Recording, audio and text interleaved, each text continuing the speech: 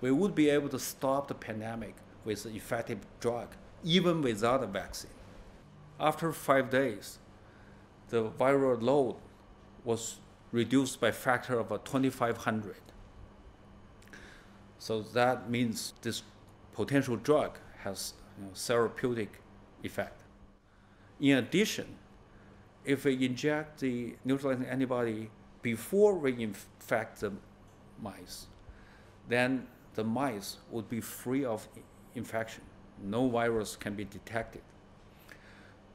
So this offers the second use as a, a temporary protection. According to the literature, the uh, protection time could be a few weeks. We are working on ways to extend uh, this time to a few months, perhaps.